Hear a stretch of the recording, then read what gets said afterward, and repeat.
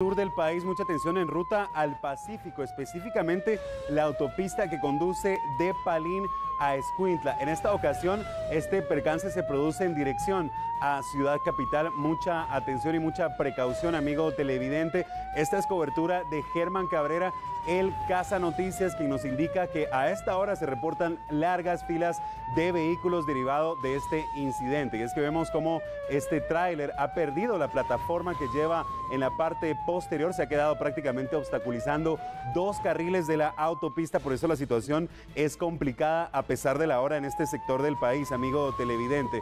Según nos indica Germán Cabrera, el Casa Noticias, ya una grúa se hace presente en este lugar, pero es bastante complicada la movilización, entenderá usted, sobre todo por lo pesado de esta plataforma que como nos indican trasladaba eh, bloques de lámina, justamente rollos de lámina es lo que traslada este camión, este furgón y ha perdido la plataforma a media autopista obstaculizando dos carriles. También elementos de la Policía Nacional Civil ya se encuentran en este lugar.